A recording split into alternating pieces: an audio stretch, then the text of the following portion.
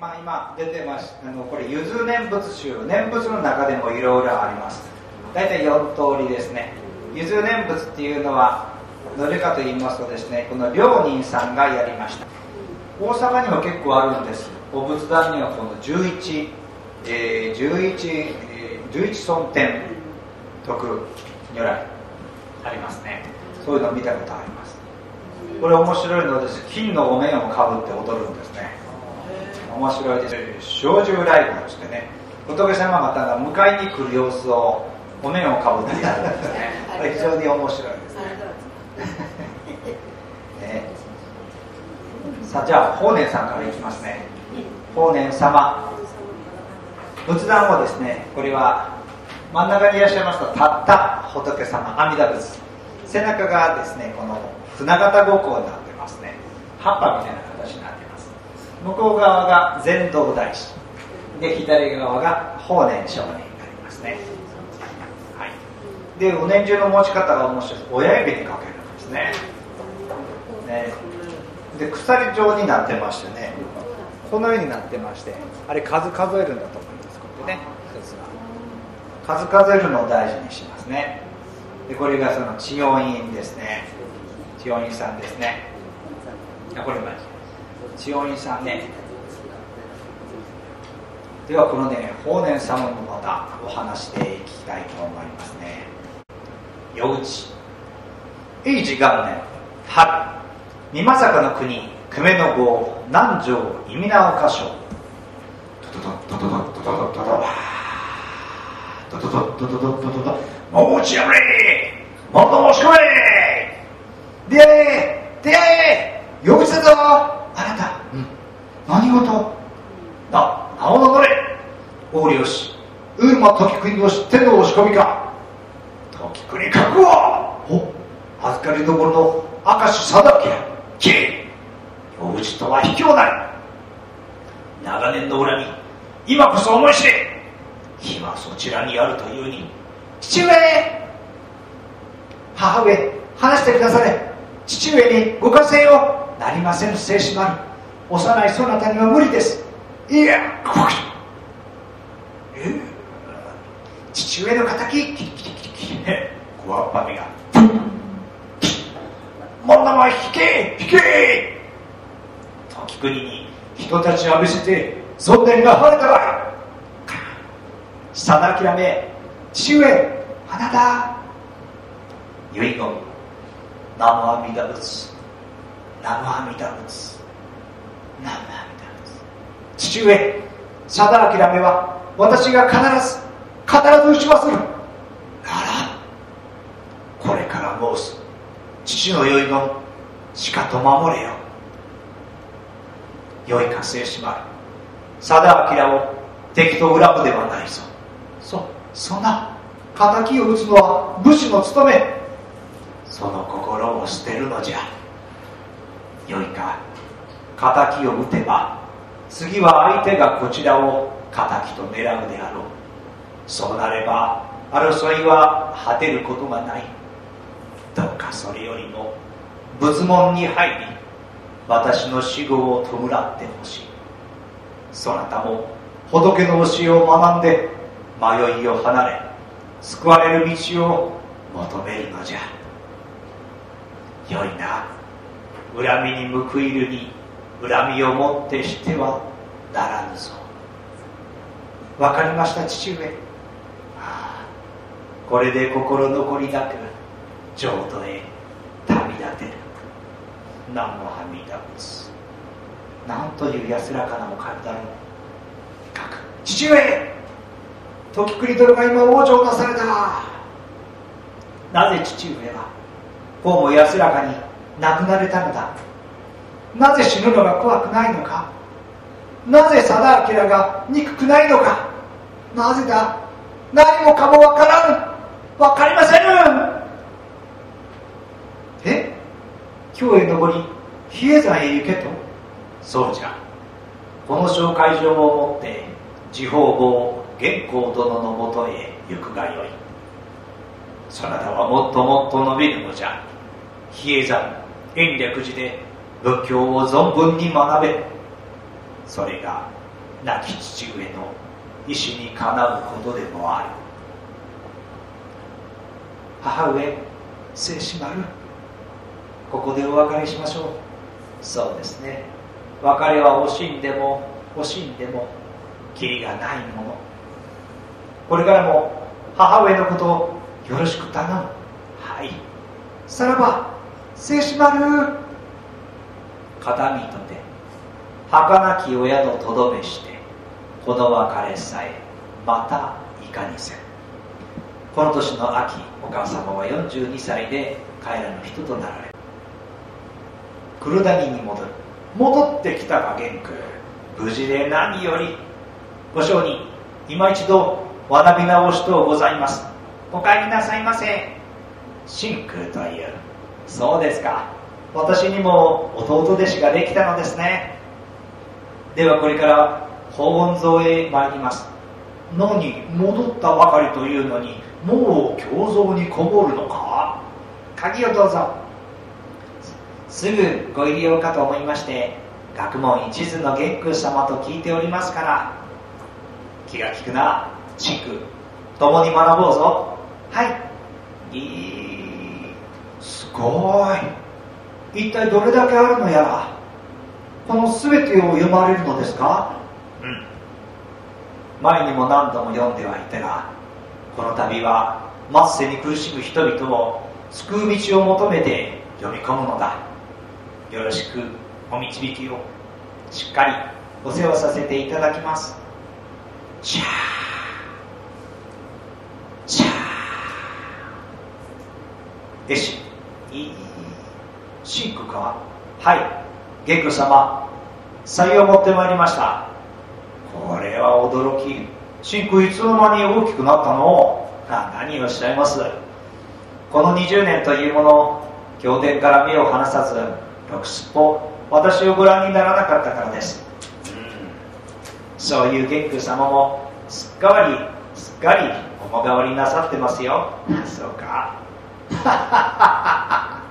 甘露甘露今宵の際はいつになくうまい。何かいい思案でも浮かばれましたか？うん。これだ。唐の伝統様が書かれた官業書この中の三千儀の一節に心打たれたんだ。シャー。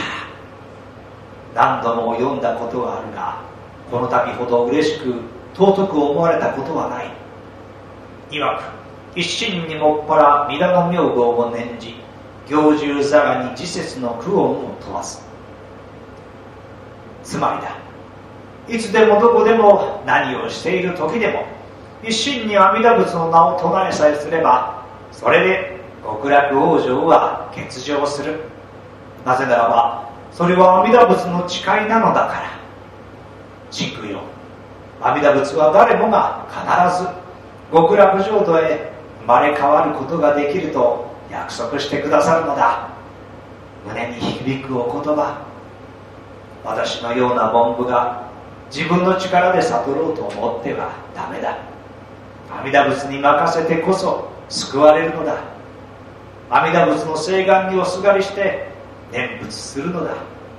私にはそれが分かった。ただひたすらに「南無阿弥陀仏南無阿弥陀仏南無阿弥陀仏」断末ゴー念仏を潰せ。法然を倒せ。法然の教えは邪法だ。我が国には朝廷の許しの過去を受けた八州の訪問がある。なのに法然は許しも得ず新しい収支を立てるとは勘弁ならん。さあ多州へも呼びかけて法然一門の諸物を朝廷に願うでろうぞ。お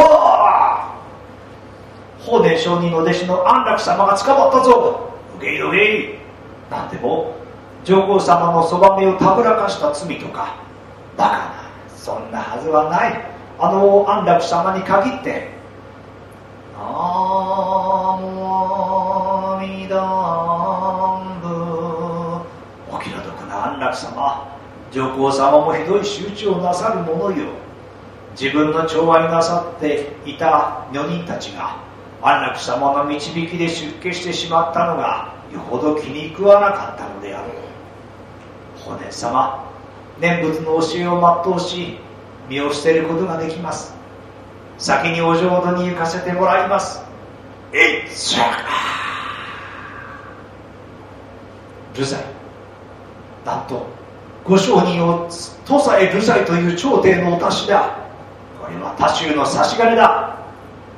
流罪を恨んでもならん。え？私はもう75歳じゃ。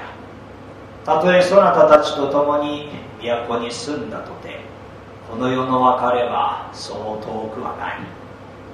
それが図らずもとさえ赴くことになってより広く念仏を広めることができるのだ。逆に感謝してよいくらいじゃ。お上人様。ありがたいことじゃ。南無阿弥陀仏おやめください。これがまた外に漏れたら今は時が悪うございます。辛抱して念仏をおやめになった方が何より安楽たちは何のために死んだと思うか。仏とこのわしを死んだればこそじゃ。念仏を信じ心の支えとしておる多くの人々を裏切り見捨てることはできる。たとえ死罪になろうともこのことだけは申さずにはおれぬぞ。南無阿弥陀仏。南無阿弥陀仏。南無阿弥陀仏。これが法然様のお話でございましたねということでとにかくですね大変な大弾圧であったわけです。このお坊様があの死刑というのはですね当時はありましたですけれども十連安楽が殺されたのはなんと200年ぶりの死刑の刑だったと言われております。だからどれほどその当時死刑がなかったか。しかもそれ坊さんですからね。だからよほど頭に刻んではなかろうかなと思いますけれどもね。大変な大弾圧でありました。その時に土佐に流された法然様。越後に流罪になった親鸞上人様であったわけでございます。それで法然様の見教えなんですけれども法然様の見教えというのはご本尊は阿弥陀仏。で三部教ありますね。何でしたっけ？無料寿経漢無量寿経阿弥陀経。この中で一番大事にするのは漢無量寿経を大事にします。浄土宗はねそれはあの禅道大師の教えです。仏様はどんな仏様かというと西の彼方に実際今お説法をしている本当にいる阿弥陀様ですと言うとでお浄土は西の彼方に現にそこにあるお浄土ですよというふうに説いてもっぱら名号を唱えることで往生できますよというのが浄土宗の考え方です。で数が大事ってね本文字があります。で浄土真宗教義だけもいきます。さっきの三部教の中で無料儒教を大事にします。これ西本願ってですね。でこちらが東本願寺屋根が二重になってますね。間違いますね。お東が屋根が二重です。こちらが西のお名簿がなりますね。でこちらがお東です。奇妙人事法無下古来でないとなお不可思議校如来くださいます。お西は下に房を垂らします。お東は房を上にして持ちます。この違いがあるんですね。面白いですね。あと浄土宗と浄土真宗の違い。です浄土宗の場合はお念仏して極楽にお浄土浄土に往生したらそこで修行をして仏様になるという段階があります。すぐに仏ではない。浄土真宗の場合には信じいただいたら症状樹というくらいになってお浄土に行ったら仏様になって仏様ですから私たちを救うためにすぐに帰ってきます。だから向こうに行く暇がないくらいですね。行ってすぐに帰ってくる。そんな違いがありますね。で浄土真宗じゃ浄土宗の批判をしたお坊様二方出てこられますね。明恵上人と上慶さん。この二方もうちらの宗師からすると悪者のように言いますけれども彼らは華願宗と、ね、発想宗それぞれの立場で、ね、法然が末法の世の中だから念仏だけでいいって言ったんですけど彼らはそんなわけじゃない。戒律もちゃんと守っていきなさい。と言って論争していくわけですね。次これが臨済宗になります。6ページになりますね。鎌倉の時代の初期にですね宋に渡りまして隋唐宋ですからね唐の次が宋の時代中国に行って臨済禅を持ってこられた方です。これもどんどんいきますね。これは座ってあるご本尊様。でもですね実際本尊は何でもいいそうです。釈迦牟尼仏ですけどもね仏壇の場合には。本尊は限りません。不流文字表現別で教えというのは文字にはできませんよ。心の中から心へパーッと伝わる維心伝心の教えが禅宗様の教えです。で臨済禅の場合には壁を背にして座ります。曹洞宗の場合は後で出てきますけど壁に向かって座る。そんな違いがあります。で臨済禅の特徴というのは喋るんです。神奈禅と言いましてね。よう喋るんです。そこさんセッターとか言ってですね問答をやるというのが大事です。他にサムとかですねいろんなことをその禅というふうにしてまいります。道元禅師。こちらの場合はですね道元様になりますととにかく座りましょう。しかただね黙ってとりあえず座りましょう。それが大事になってまいりましたね。道元伝師様のお話の中でありますのはですね非常にその朝廷から紫の衣をいただいたんですけれども2回ほど断ってますね。いりませんって断ってるんです。権力者と癒着をしない。ね。それは自分のお師様でありました。深い山に住んで渓谷などに住んで一人でも優れたお坊さんを育てなさい。女女ですね。女女禅師の言葉をそのまま日本でやっていったのが永平寺。ですね。これが永平寺でございます。雪深い中ね旅一つ履かないでやる禅でございます。禅宗様の持ち方は片手に持つんですね。左手に持ったまま合唱するというのがこれが曹洞宗の持ち方らしいですね。はいこれが曹洞宗の禅です。壁に向かって座っておりますね。さあ禅宗はまた後から出てまいりますが次は日蓮さんに参りましょう。日蓮さんの人生もまたこれが波乱万丈でございましてね安明法蓮華経でございます。法華経の信仰によってこの末法と言われる混乱の世を救ってみせよう。日蓮は旭川森を下り清水寺へ向かった。清水寺には日蓮の話を聞こうと多くの僧侶たちが集まった。皆さん念仏を唱えることをおやめください。え？武士が世の邪悪を取り除き民衆を救うように法華経もまたその信仰の実践を通じてそれを実現します。真実に目覚め南無妙法蓮華経と唱えるのです。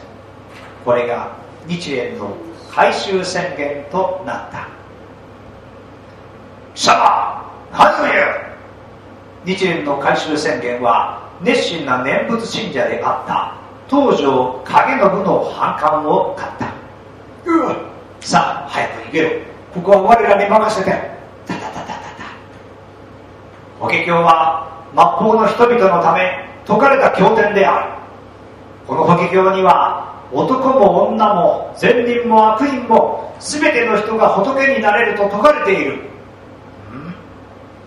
法然上人も末法の世には念仏の教えしかないとか言っておられるがそなんということを法華経こそがお釈迦様の真意を伝えるもの。法華経の信者はすでに仏となられたお釈迦様の徳をいただいているのだ。誰もが仏になれるというのになぜこうも国が乱れるのだ？そうだそうだ。念仏の教えや禅の教え。信言の教えが世の中に広まったからだ。では一体どうすれば法華経を信じその教えを実践すること正しい法を立てて国を安穏ならしめるのです。正しい法で国を安穏ならしめる。その正しい方が法華経の教え。この頃多数の鎌倉武士が武士が信徒となり日蓮一門が形成されていった。翌日大地震が起き日蓮は鎌倉の町を訪ねた。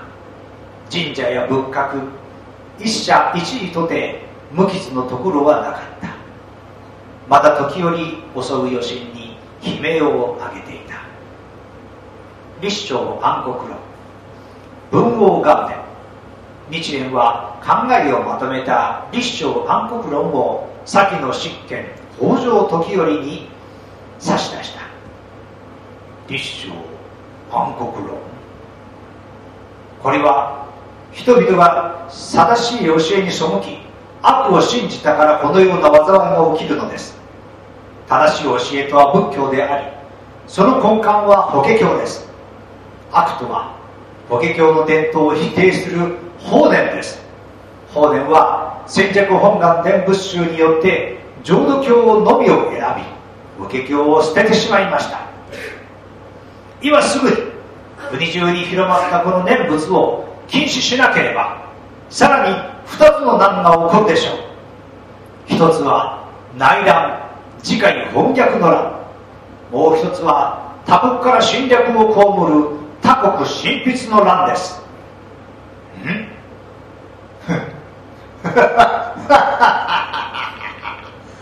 なんとバカバカしい馬車。度重なる法難日蓮が念仏の禁止を時折進言したことは瞬く間に鎌倉に知れ渡った。日蓮は松坂岡の草案で武具に身を固めた念仏の信者たちに襲われた。文永5年。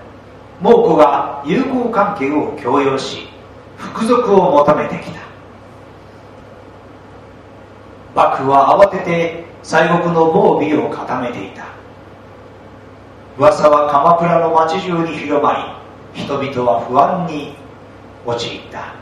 もうこの大軍が日本を襲うらしいぞ。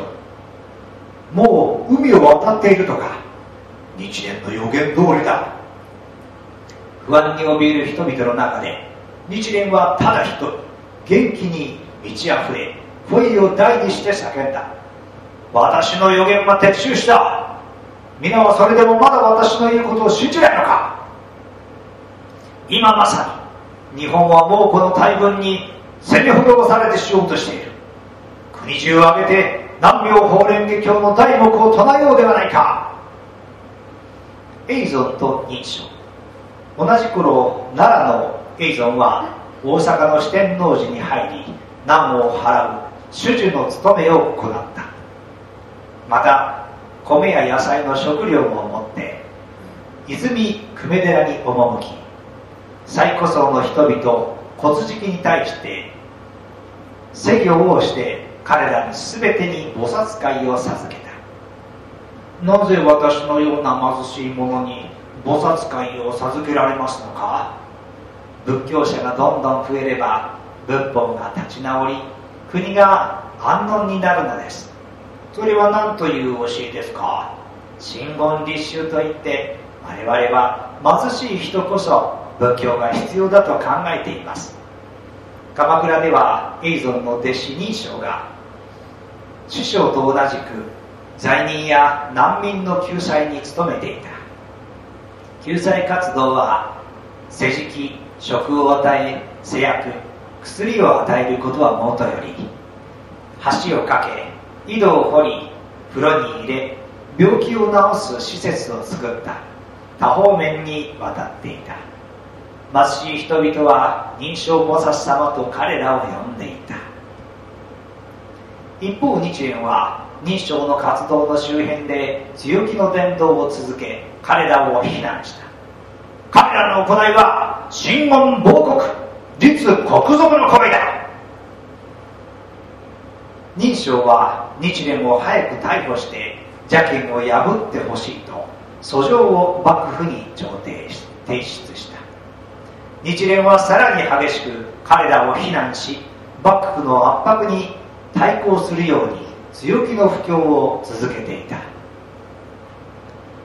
佐渡へ塗る際そして夜中日蓮の首を切るために辰の口に連行した。南明法蓮華経南明法蓮華経。チッ。チカー。うわ南明法蓮華経南明法蓮華経。うわ逃げろこれが辰の口の方なんと言いましてね。日蓮の首をはねようとした瞬間大空から火の玉が飛んできたと言われております。鎌倉に戻った日蓮は早速幕府に呼ばれ尋ねられた。蒙古軍が攻め寄るのはいつか間近です。この大難を逃れるためには法華経の信仰によって万民の心を一つにしなくてはなりません。そうか。相変わらず法華経か。ああもう下がってよい。入弱日本軍を攻め落とせ!おお文永11年10月人々が恐れていた猛虎襲来があった。日蓮は身延山で続々と入る猛虎襲来の情勢を法華経信仰の体験で分析し門弟たちの指導を進めていた。猛虎が攻めてくるには理由がある。どんな理由でしょうか。この国の王や悪い坊主が改心坊主に改心を迫る使者としてやってきたのだ。上人様。なぜそこまでお分かりなのですか？釈迦の使者である私は過去現在未来の三世を見ることができるのだ。間もなく猛虎の兵は台風のため壊滅し去っていった。このようなことがあるわけでございますけれどもねまあ終始日蓮様の意見もわからんでもないですしでも日蓮さんはですね比叡山に登って学んだんですね。比叡山延暦寺は法華経を大事にする宗派でございますのでね。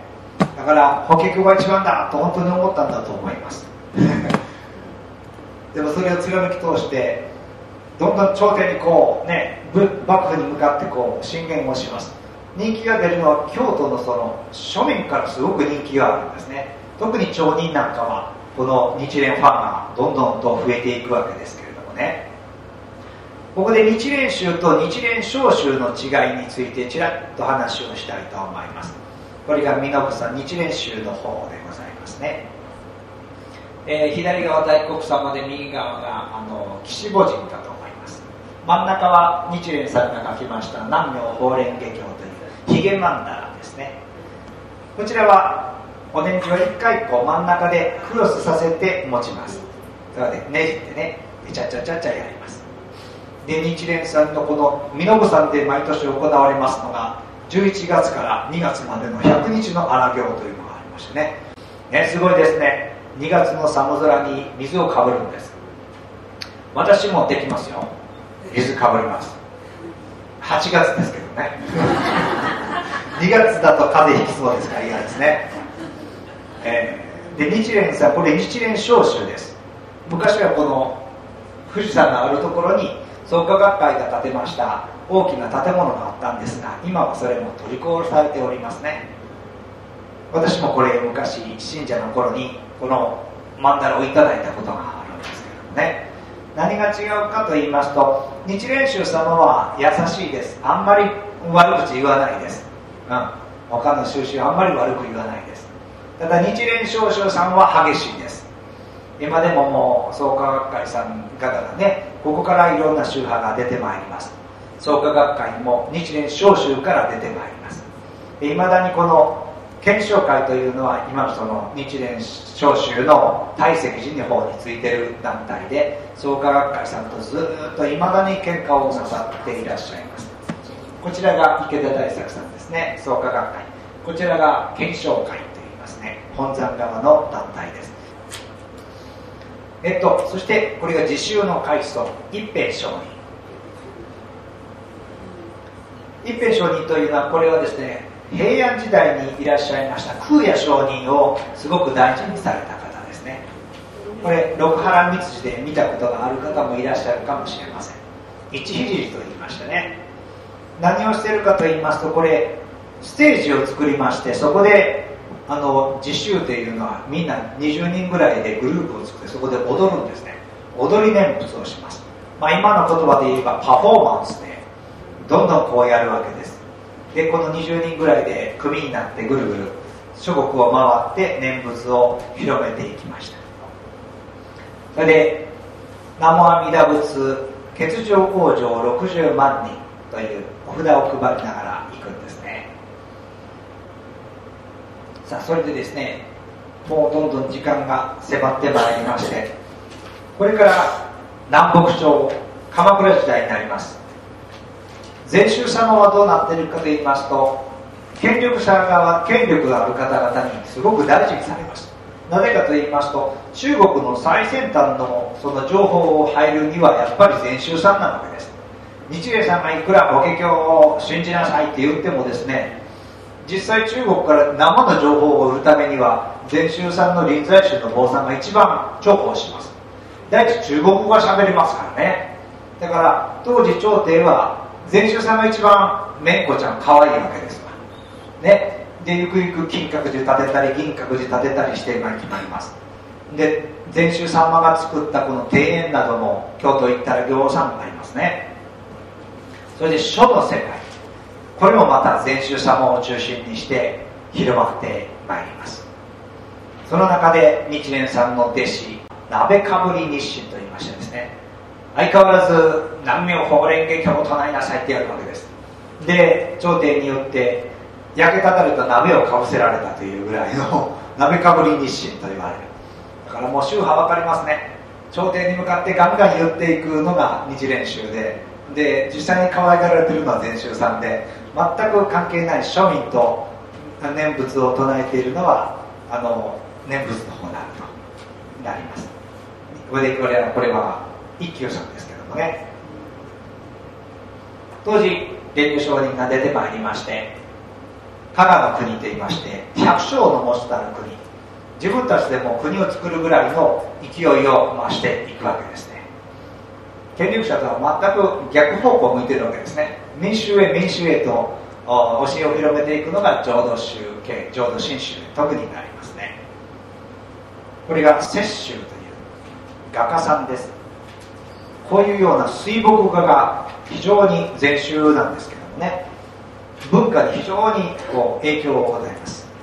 天橋立の絵です。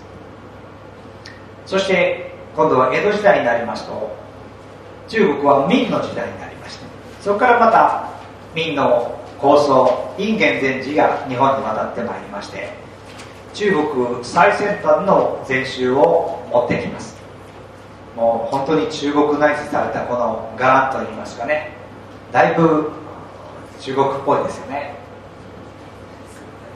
この当時日本にインゲンさんが持ってきたのは不茶料理まだごま豆腐インゲン豆スイカレンコンそれから煎茶たけのこであと画であるとか建築であるとか彫刻これ工芸木魚などというものが禅宗様によってこのように日本に伝えられてまいります。でこちらがですね良寛さん。これ優しい人なんです。この良寛さんって人はね。ね子供たちと一緒に。遊んでという優しい人なんです。本当にねこの良寛さんというのは民衆と一緒に生きた人だと思うんですけどもね。五号湾では2度にわたって17年間暮らしました。良寛は草案に閉じこもったのではありません。草案の門はいつも開かれていました。また文人の客たちを草案に招いて彼らと遊んだのです。ある時には招かざる客も来ました。ミシミシミシ悪いの何にも盗むものがなくて弱ったなヤブを取られちゃう。でもまあこのお人もよほど困っておるのかも。これでどうじゃな。はまた遊んでしもうたわい。ええ。お一句できたぞ。盗人に取り残されし窓の月。またある時は俺しがみついていないで出ておいで。どうじゃここはあったかいじゃろう兄さん布団持ってきましたよ。ああ義行無心の手紙を見てくれたのかな何をなさってるんで？いやそのな白見さんたちに日向ぼっこをさせておるんじゃよ。なんと。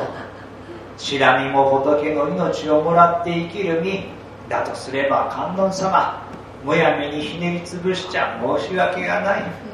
おお寒くなってきたな。さあさあ白見さんたちお戻りなさい 白見も観音様なら義行そなたも観音様。良寛さん。おお子供たちも観音様。みんなみんな観音様。心底遊んでいらっしゃる。これがわしの禅じゃなるほどね。よいよしゃば世界かくれんぼ。もういいかい。まだだよさんおい来たおちかぼうえっとえっとどこに隠れてやろうかのおちかぼうはここがいいさてとわしはと。あここじゃ。遊びといえば日本人には評判が悪いですね。最近のエコノミックアニマルと化した日本人は遊びの字に顔をしかめます。遊びといえば言うとぐらいしか思い浮かばないでしょう。けれど仏教語において遊びはいい言葉です。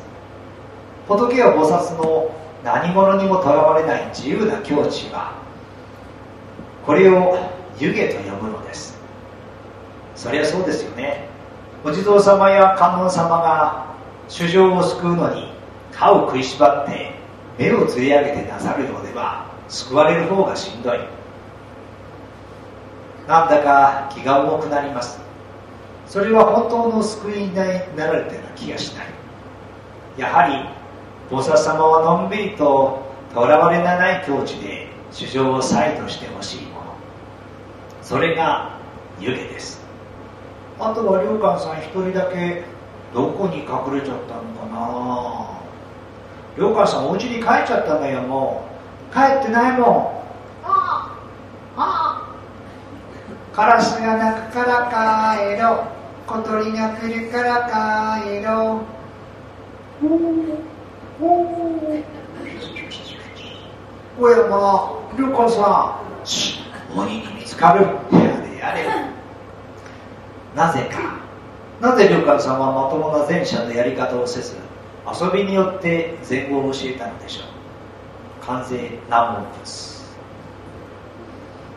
去年は大洪水で今年は大干ばつ天よ。何とぞ雨を降らせたまえ。こうひねり続きじゃ稲が立ち狩りだ。畜生今年も米が取れねえか。まだ飢饉か。えらいことになるぞ。名主名主に相談すんべ。みんなを集めろ。良寛さん。おおおちかぼ私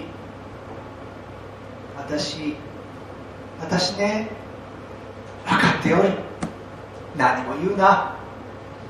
まったくお恥ずかしいことで私たち親だって身を切られる辛さでございます。でもお近を占ねと一家七人が上に陣しますだ。借金も年貢もたまりにたまってるし。行こうぜ。買ったからにはお前はこっちのものだ。ちょっと待った。これを持ってる雪うん。さよなら。体を置いとんだぞ。完全音南仏余仏院余仏園仏法総園上楽画上長年完成音母年関税よ。年々重心期。年々不利心関税よナム物よかさん遊ぼう。遊ぼう。よし。よし。遊ぼうぞ。今日はとことん遊ぼうぞ。おりゃ。おちかちゃんのように良寛が一緒に手張りをついた村の子供たち。かくれんぼ遊びをした子供たち。中でも女の子がすぐ村から消え失せる。行く先は分かっています。子守女や飯盛女あるいは女郎に売られていくのです。貧しい村ではそれが口減らしにもなる。子供を売った金は収入にもなる。そういう現実が現としてあった。江戸時代の領館の周りだけにそういう現実があったのではありません。平和で豊かな現実に生きる我々にはわからないかもしれませんがそういう現実がむしろ歴史の状態だったのです。いずれ消え去る子供たち。その子たちを子供たちを売る親たち。村に残った子供だって現実の苦しみにうめき苦しみつつ生きねばならない。そういう人間にどんなお禅が解けるのか。良寛はそこで遊びの禅を解いたのです。私たちはみんな観音様じゃ。観音様がこのシャルバ世界で遊んでいるのだ。おう？お前たちがいつか大人になったら苦しみに出会う。地平道白がごとき絶望に襲われる。その時思い出すんだぞ。これは遊びなんだ。観音様の遊びなんだと。そうすりゃちった楽になる。良寛は子供たちにそう言いたかったのだ。